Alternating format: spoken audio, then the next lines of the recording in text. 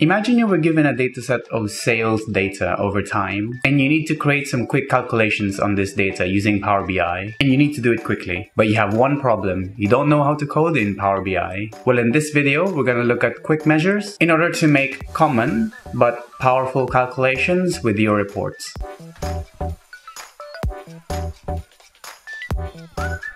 Hi, my name is Fernan from Solutions Abroad.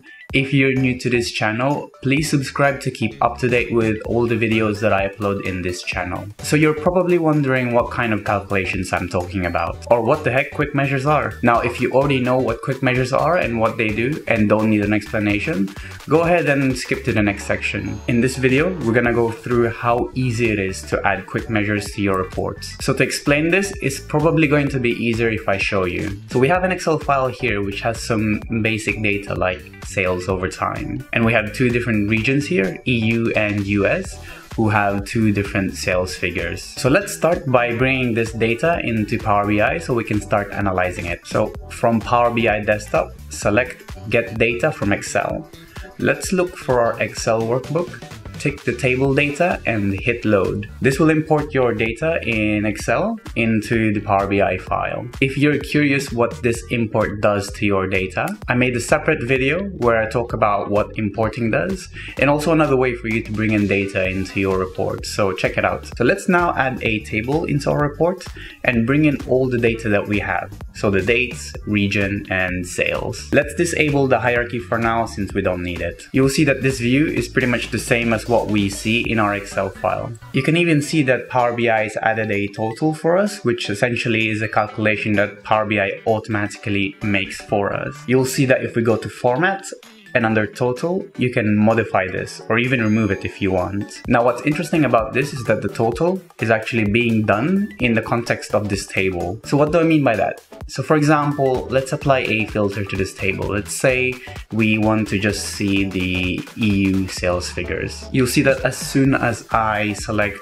just EU in this filter, the total numbers recalculate. It now only totals up the sales figures for EU. We can double check this by going back to our Excel file and filtering to EU you can see that some value there is the same as the one we have on Power BI. This feature where the result is being recalculated based on the data displayed is what we call context. It's important to have a little bit of understanding on this because measures work off the same concept. You're gonna need to be able to explain what your data does, why it's showing the numbers that it does. So while you're not gonna need to know how to write DAX, it's really important for you to learn how it derives to that answer. Anyway, back to our Power BI report let's clear this filter, which brings us the US and EU data back. Let's remove the region column from this table by clicking this X icon right next to the region column. Now pay close attention to the sales results for July 2020 as I click to remove the region column. Did you see that? It grouped the sales from EU and US into the same date because that is the context of our data table. If we go back to our Excel table and highlight the July 2020,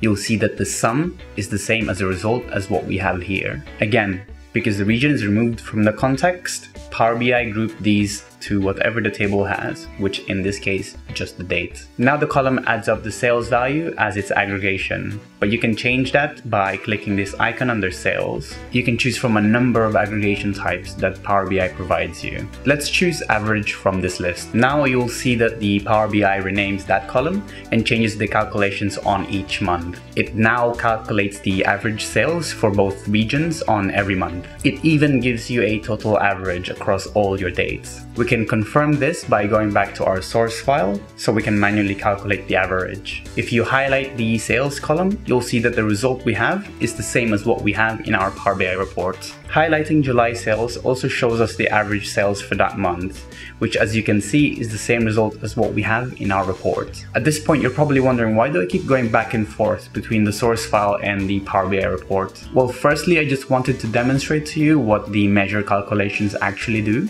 And secondly, data validation is really important when it comes to reporting. You don't want to be in a situation where somebody asks you why a certain chart is a certain way and you don't know how to answer it. Had this problem in the past, so a client asked me why a bar chart is showing a certain number, what types of filter was applied to it, uh, and how it's being calculated, but I don't that didn't know the answer at the time and it, it was really embarrassing. So uh, do your data validation, don't be like me. Quite a tangent for me, but now that you know what aggregations do, let's move back to quick measures. Now, the easiest way to add a quick measure is through this quick measure button under the calculations ribbon. If you select the drop down under calculation, you'll see a bunch of calculations that you can use for your measure. Conveniently, they're grouped based on categories. So we touched on aggregations earlier, like the average. Now looking at this list, we want to be looking at the time intelligence section because our dataset has date elements in it. So let's keep it simple. Let's add year to date total. Let's drag the sales column in the base value and the date under date. If you hit OK, you'll see that Power BI creates something what we call a measure. You'll know that something is a measure by the calculator icon right next to its name. Now don't be confused, measure is just a fancy way of saying it's a calculation. The reason it's called a measure is because it's written in DAX, which is the expression language in Power BI. If you select this measure, it will show up the formula bar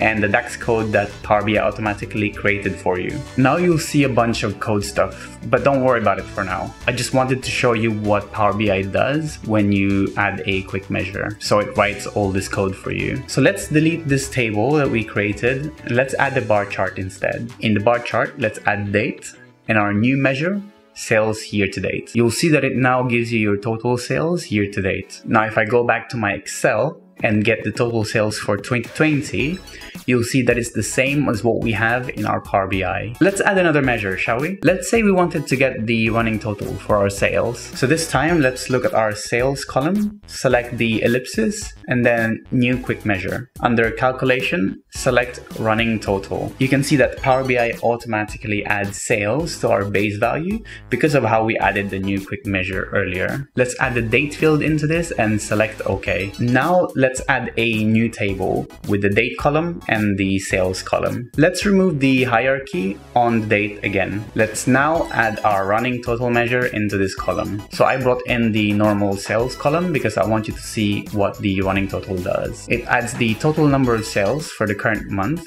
as well as the total number of sales on the previous months. So this measure is really useful if you're doing any cumulative totals without having to know how to script. So if we convert this into a line chart, you'll see our running totals side by side with our total. Now you know how to use quick measures to your advantage. You can create really powerful calculations to your data without knowing a single line of code. I hope this video helped you guys. If it did, please leave a like. It really helps me grow out this channel and reach out to more people. Let me know if you enjoyed this type of content in the comment section below. If you have any suggestions or feedback, get in touch. I'm leaving my email address as well as my social media accounts in the description box below. Thanks for watching and see you guys next time.